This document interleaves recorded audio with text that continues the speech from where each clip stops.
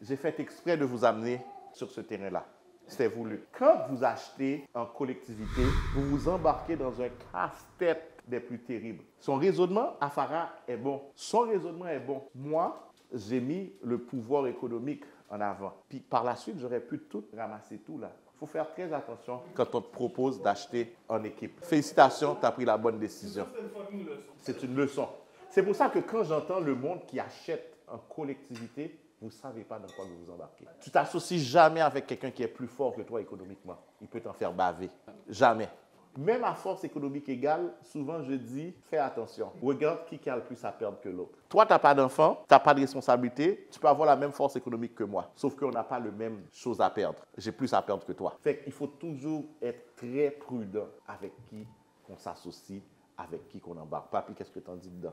Je rendu des responsabilités, c'est une responsabilité directe. Exact. Il n'a pas de directe, Mhm. mais il a des responsabilités. OK, oui, parfait. OK, tu l'as recadré. Oui, exact. OK. C'est tout à fait normal. Bon. C'est peut-être un choix aussi chez lui de pouvoir aller seul.